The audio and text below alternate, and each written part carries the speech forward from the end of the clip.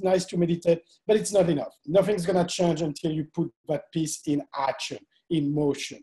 So, first step, yes, be good in your mind, be good in your soul, and then shut up and get going and get the work going because it's all about work. You know, nothing happens if you're not going to put enough work and time into it you know, like we do right now. We isolate ourselves for an hour and we're going to have a nice, inspiring conversation, which hopefully will inspire other people.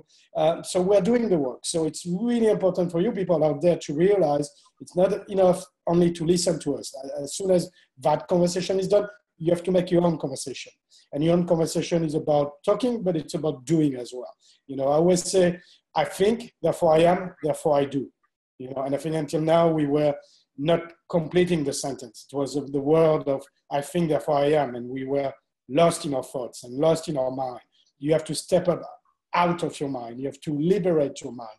That's uh, the big challenge of our century is really what I call the liberation of the mind. I think 19th century and 20th century were geared at liberating the body, abolition of the slavery, physical slavery, but we still have mental slavery. And we see it in many parts of the world and many culture and religion and, uh, and political system. It, the, the mind is still in jail. So it's time to open our mind cage, step out and see that we are free souls, free spirits. It's all about us trying to link, connect, have a healthy relationship and change the world in oneness absolutely. I, I love i love the word activist because it does really mean that we are taking actual steps and not just talking about it you know